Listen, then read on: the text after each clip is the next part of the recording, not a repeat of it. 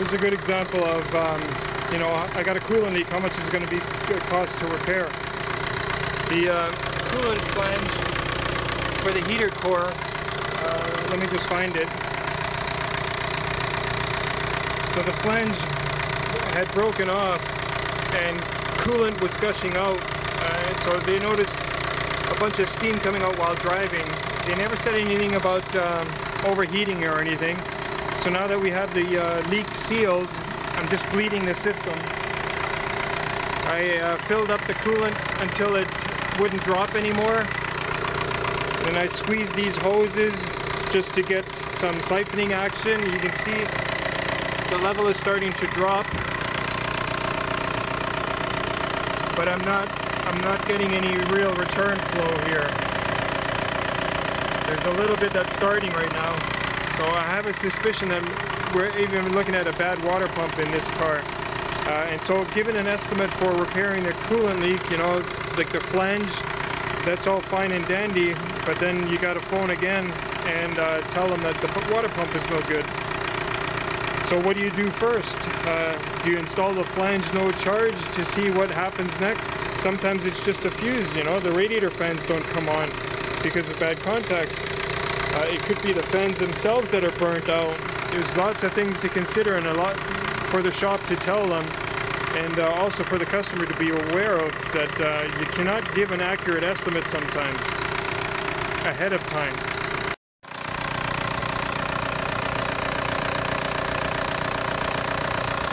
Okay, so I'm getting good flow now, so it must have been an air pocket still, uh, but just keep an eye on that, you know, make sure that you always have good flow. No flow is a bad water pump. 2003 Golf, um, check engine light, oh, sorry, forget that. I was trying to get communication with the scan tool.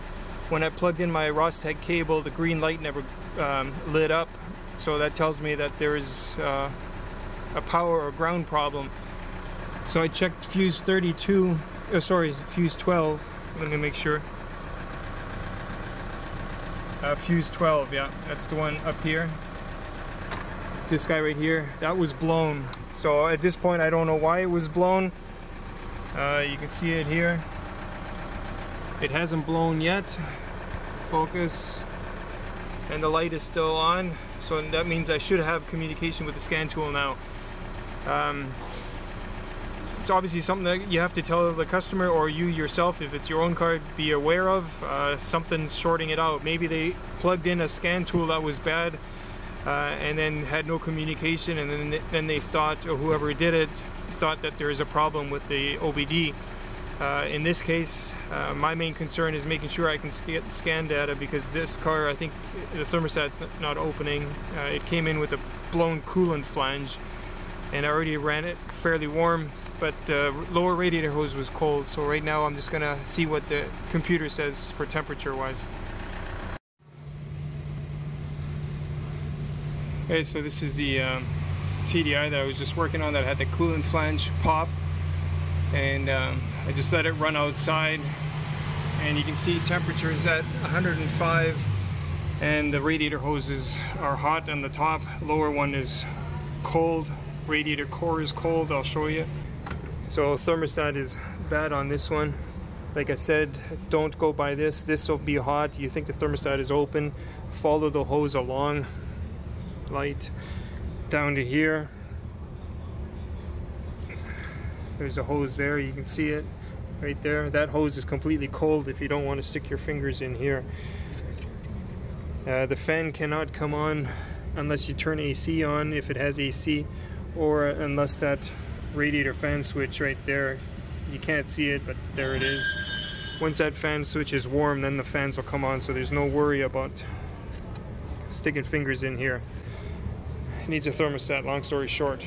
And that's why like I said that flange blew and you cannot just give an estimate on the flange because you don't know the history of it. Yes there's an initial cost for the flange but you still need to spend time verifying that the fans come on. Thermostat opens. In this case fans don't come on don't come on because that sensor doesn't get warm because the thermostat is not opening